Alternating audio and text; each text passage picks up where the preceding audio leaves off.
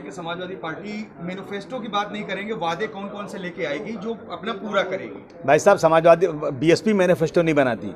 Samajwadi party हमेशा manifesto बनाती है और उस मैनिफेस्टो पे 99.9 परसेंट अमल होता है। देखिए कहीं कहीं कुछ होता है ना कि कुछ अफसरान जो I S I P S है ना बिल्कुल। वो लोग कहीं गड़बड़ करते हैं तो वो शायद गड़बड़ हो जाए लेकिन अखिलेश यादव की तरफ़ से जो। मैनिफेस्टो बनता है उस मैनिफेस्टो पे पूरा का पूरा काम करने का काम किया जाता है। बिल्कुल। बहुत सी छोटी छोटी पार्टियाँ हैं जैसे Om Prakash Rajbhar ji M I M party और बहुत सी ऐसी पार्टियाँ हैं जो क्या अगर ऐसी सिचुएशन बनती है तो क्या उनको जो लिया जाएगा साथ में?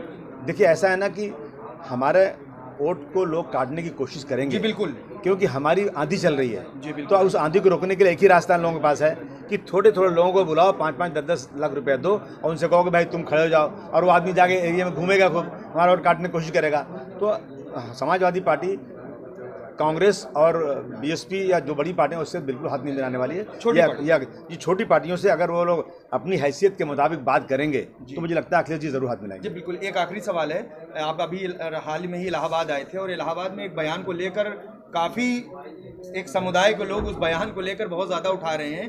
और वो बयान के बारे में आपको भी मैं बता दूँ कि मैं पार्टी को राजनीति को एक ईमान के तरीके मानता हूँ ऐसा उन्होंने कह के पोस्टर लगा दिया और खास तौर से एमआईएम की पार्टी के लोग बेचारे बेचारे परेशान है बेचारे। जान दो छोड़ दो उनको बहुत- बहुत- कोई कोई इशू नहीं उनके पास बेचारों पास।